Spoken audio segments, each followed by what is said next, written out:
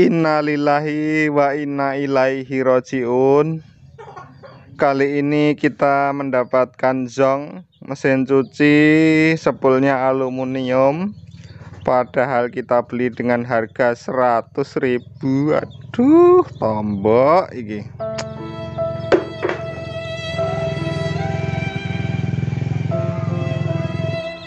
Ya begitulah suka duka kehidupan kadang dapat yang empuk-empuk kadang yang pahit.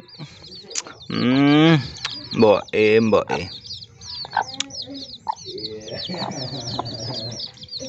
Tuh teman-teman saya sudah mengorek sedikit.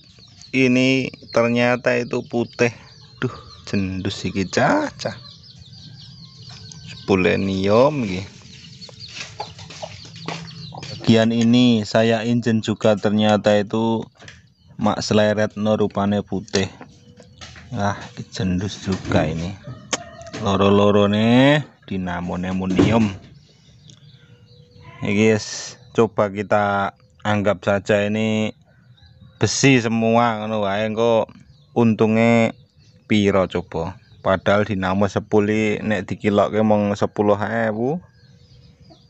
coba kita timbang besi nongko rugine piro karo ember putihan bodine iki. Jane bodine sih bagus sekali ini.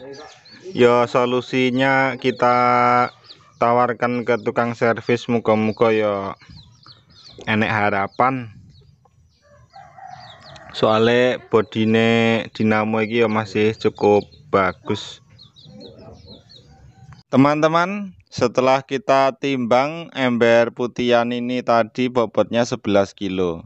Kalau sekilonya empat setengah berarti cuma 50.000 kemudian dinamonya ini bobotnya enam setengah kilo. Kalau dikali empat setengah berarti cuma 30.000 Duh total uangnya 80.000 padahal belinya 100.000 ini alamat jendus jendus jendus jendus.